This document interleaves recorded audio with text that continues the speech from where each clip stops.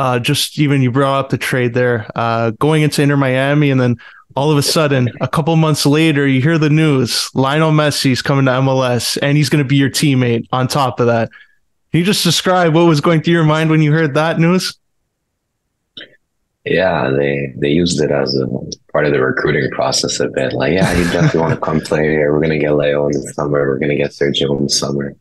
Uh, but you don't really believe those kind of things until it happens. We know how much Barca was dying to to get uh, yeah Leo back, and if Leo went to Barca, then Sergi definitely is not coming to Miami, and Jordi's not coming to Miami. So it's it's pretty crazy. Um, just waking up every morning, arriving in the locker room, and just seeing him sitting there. Uh, his training habits, how dedicated he is to the game, how much he just enjoys playing football. It's a real joy and has given me a personal boost that uh, the greatest player ever in the gym and still taking care of his body and doing all the right things at 36 years old or however old he is, then I have no excuse. You know, I really have to get on the ball and, and get it done. But overall, it's, uh, it's a joy playing with these guys.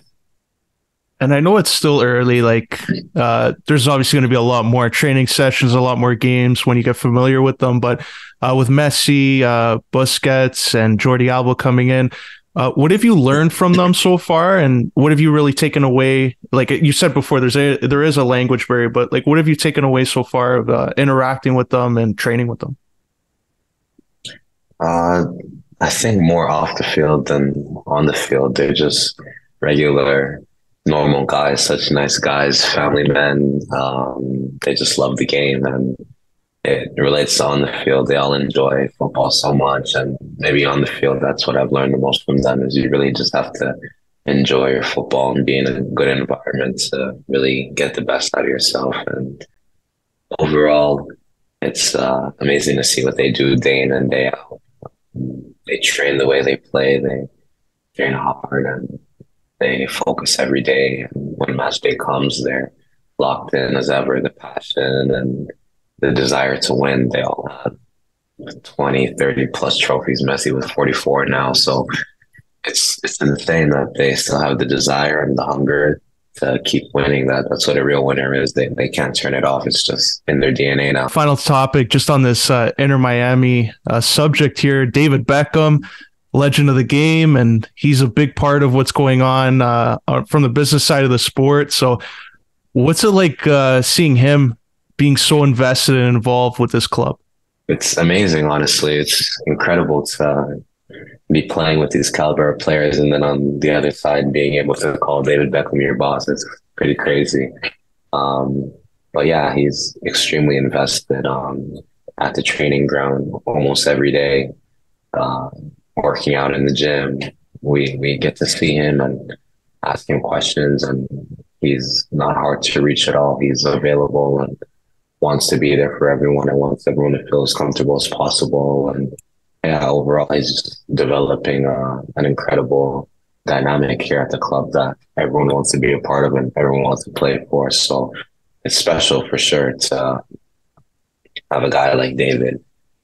You see him right after the game, you see him before the game, and he has confidence in you and sharing a laugh. It's, it's just a special environment to be in. And, and yeah, I love it what does it mean to you too? Like the management seems very approachable in Miami. Just mm-hmm. how is that for a player to have that reassurance that you know if there's any issue or just like any advice that you want to get, that management is very approachable like that. Yeah, and it's not only the front office; it's top to bottom. It's the GM, it's the coaches, it's the nutritional staff, it's everyone at the club is so amazing. We really have a a family here. Uh, when we travel, we, we travel with a lot of people, and, and it's really a, a great atmosphere.